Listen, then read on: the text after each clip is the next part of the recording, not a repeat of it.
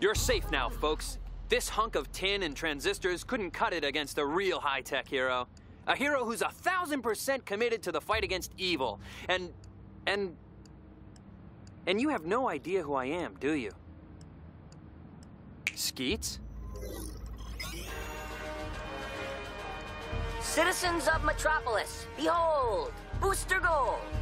Traveling back through time from the year 2462 AD, Booster Gold has come to battle today's wrongdoers. Booster Gold, protecting his past to ensure your future.